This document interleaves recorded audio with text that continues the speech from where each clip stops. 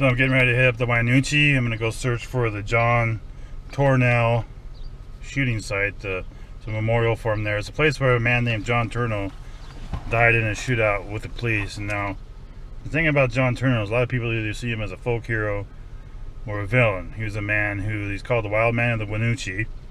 He was born in 1880, September 4th, 1880. He died 16th of April, 1913 in a shootout with the police. Um, well, basically, he, he basically lived off the grid. He lived out in the woods, lived off the land. He had very little contact with uh, society. He, he shunned society, but he wasn't a total loner. He would come into town, he'd visit his sister and, and things of that sort. And um, when I first heard about him, I figured he was just, you know, serial killer, so I didn't take too much interest in it. He killed like six people. But the more you look into the story, you start to realize he might have killed those people in self-defense. He was just a guy that wanted to be left alone. And when it all started, his trouble started when uh, in 1911 he was skinning a cow on the field at his sister's place and a couple shots went over his head, gunshots, bullets. And so he returned fire and he ended up accidentally killing his two twin nephews, his sister's kids. And so then he split. He took off, went out hid in the woods like he was accustomed to doing. And um, he ended up hiding for for 19 months. It was a 19 month manhunt. There was two deputies that went out looking for him and they were killed. They found them murdered. He killed them and he gutted them. So after 19 months, he the law caught up to him. He killed one of the deputies outside his little cabin and then he was shot and killed. But um, before then he had robbed a store that also served as a bank and he took 15,000 in cash.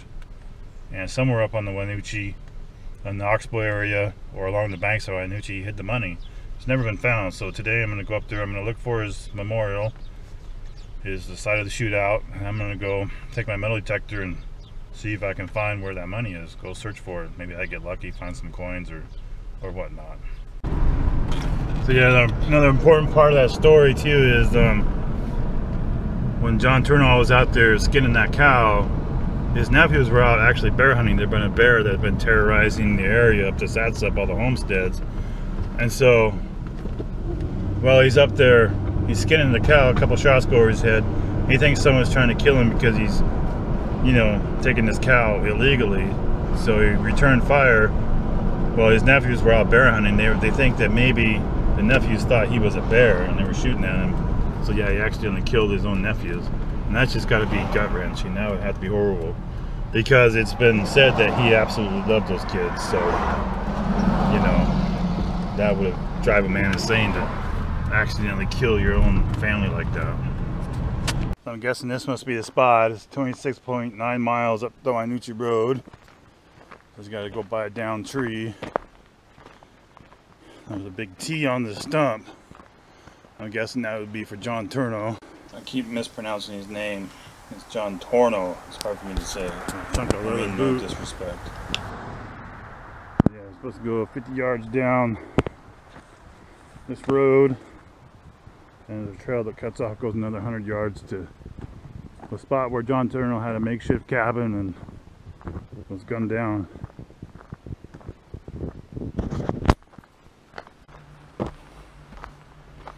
Oh, here it is right here.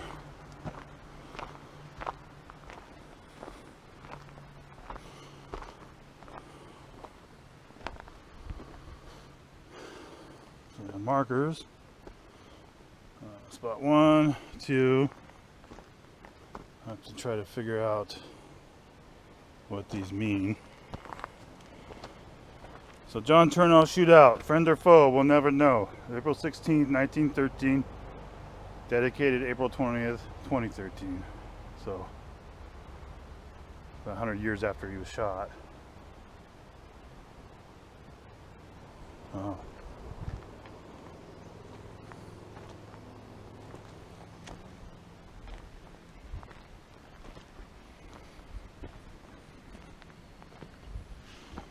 Some gifts left for him. A friend or foe, we'll never know it's the sign-in book. Cool.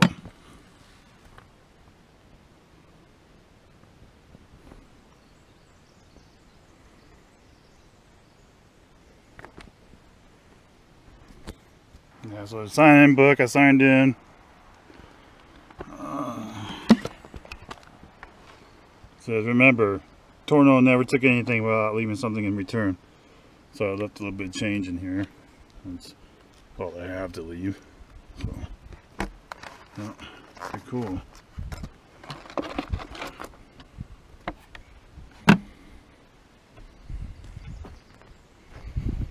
Now here's a picture of John Turno.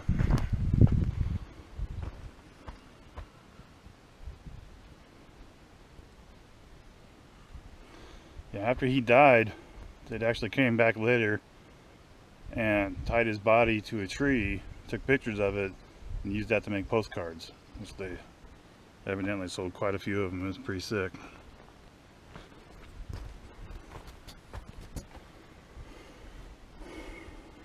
Dear Tornow visitors, it is well known by the sheriff's posse that Tornow had several caches of supplies and weapons in the surrounding area.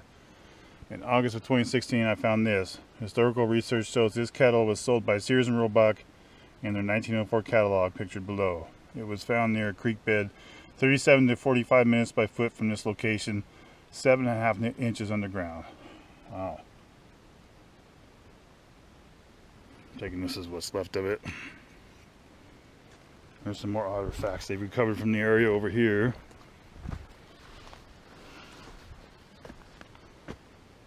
These items recovered from the surrounding area.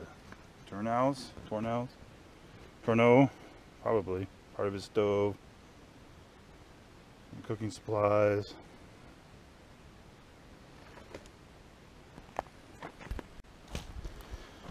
Well, it says C.H. Packer, the Wash of the Washingtonian was a local reporter who joined the posse to photograph the shootout scene in 1913. It was reported by Packard that Tornow had scooped out a small hole at the edge of the pond about 15 feet from the east end of this camp.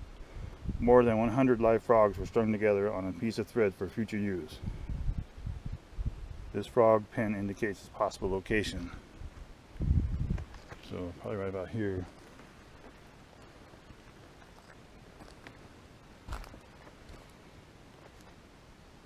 Tornow Lake. Tornow.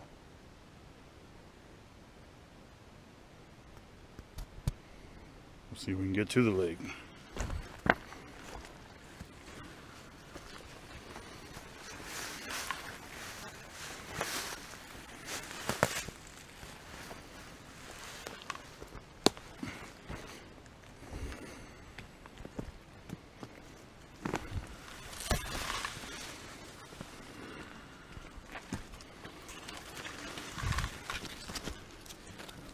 See a lake. Probably was a lake here 100 years ago though.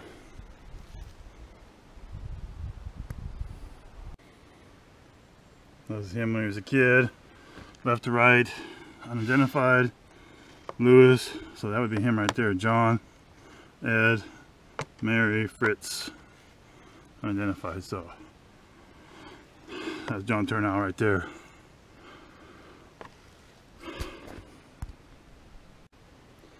There's John Tornow at the headquarters of the sheriff's posse in Montesano. That's after he's dead.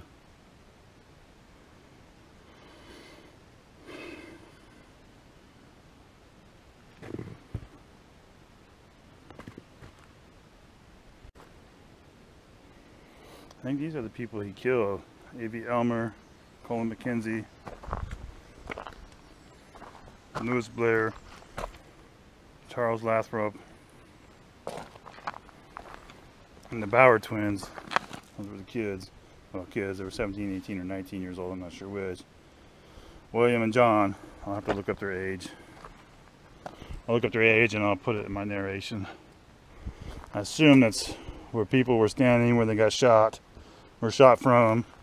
So the markers must represent where Deputy Giles Quimby, um, Lewis Blair, and Charles Charlie Lathrop were standing when Tornow opened fire on them, and then they Over returned there's fire. number but I four. don't know which number I'm corresponds. guessing that's with probably which where person. Turno was shot. And number four is likely where Tornow was, next to his cabin there, where where he fired from and got shot. So if you go in the order of the way things unfolded, number one must be where Blair got hit. Number two is where Lathrop got hit, and number three is where Quimby fired on Tornow.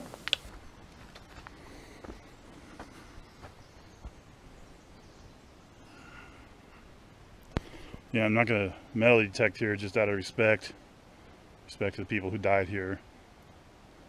Tornow and the people he shot. But tune in for future episodes where I search for Tornow's treasure in the Oxbow along the Wynoochee River.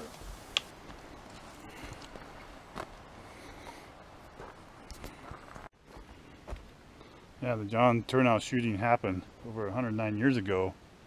People are still talking about it today. Like, you know, a lot of people don't know, friend or foe. you know, would he shoot those people in self-defense? Is a cold-blooded killer or, or what? You know, nobody really knows. The more I dig into his story, the more it seems like the law had no intention of bringing him back alive, no intention of giving him a fair trial.